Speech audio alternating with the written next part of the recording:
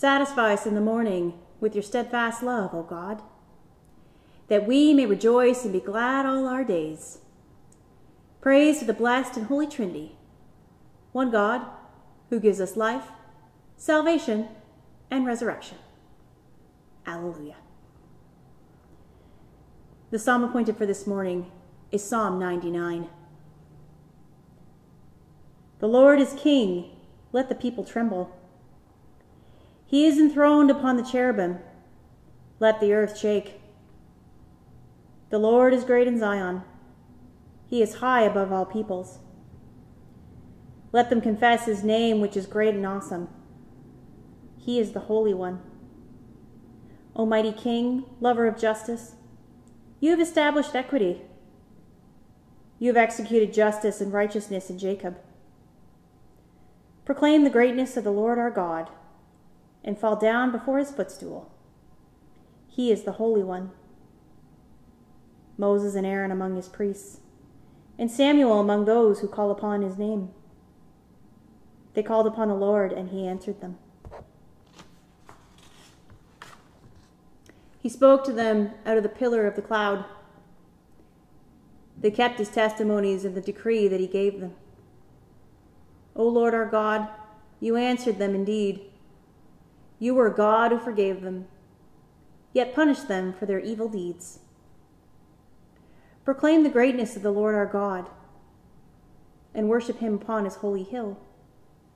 For the Lord our God is the Holy One. A reading from the Christian writings, taken from the Revelation to John. Then I saw a new heaven and a new earth. For the first heaven and the first earth had passed away, and the sea was no more. And I saw the holy city, the new Jerusalem, coming down out of heaven from God, prepared as a bride adorned for her husband. And I heard a loud voice from the throne saying, See, the home of God is among mortals. He will dwell with them.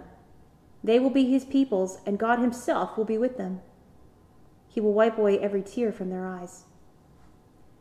Death will be no more. Mourning and crying and pain will be no more. For the first things have passed away. And the one who was seated on the throne said, See, I am making all things new. Also he said, Write this for these words are trustworthy and true. Then he said to me, It is done. I am the Alpha, the Omega, the beginning and the end. To the thirsty I will give water as a gift from the spring of the water of life. Those who conquer will inherit these things, and I will be their God, and they will be my children.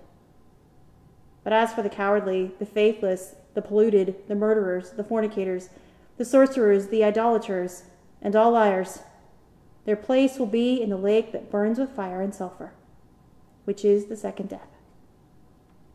Hear what the Spirit is saying to the church. Thanks be to God.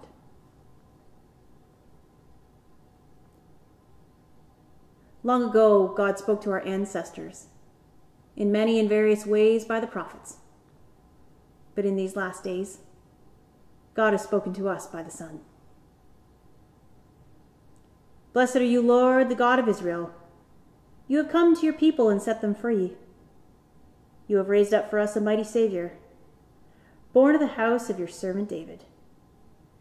Through your holy prophets you promised of old to save us from our enemies, from the hands of all who hate us, to show mercy to our forebears, and to remember your holy covenant. This was the oath you swore to our father Abraham to set us free from the hands of our enemies, free to worship you without fear, holy and righteous before you, all the days of our life. And you, child, shall be called the prophet of the Most High, for you will go before the Lord to prepare the way, to give God's people knowledge of salvation by the forgiveness of their sins.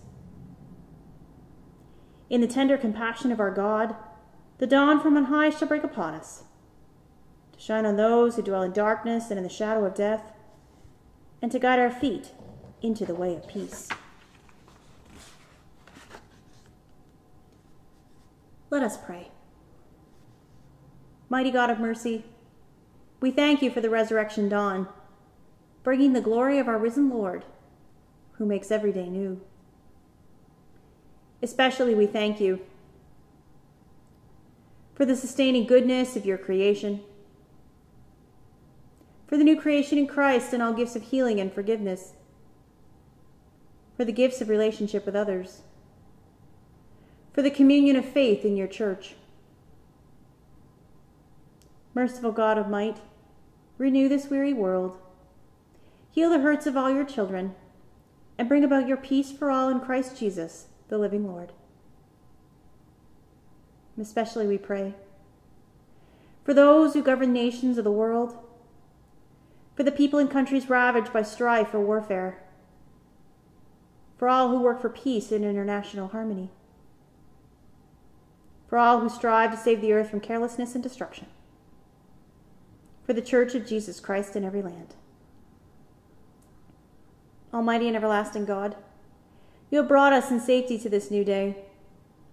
Preserve us with your mighty power, that we may not fall into sin nor be overcome in adversity.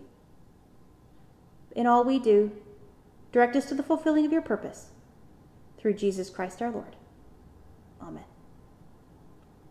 And now, as our Savior Christ has taught us, let us pray. Our Father in heaven, hallowed be your name. Your kingdom come, your will be done on earth as in heaven. Give us today our daily bread Forgive us our sins, as we forgive those who sin against us. Save us from the time of trial and deliver us from evil. For the kingdom, the power, and the glory are yours, now and forever. Amen. Let us bless the Lord. Thanks be to God. Almighty God, the Father, the Son, and the Holy Spirit, bless and preserve us.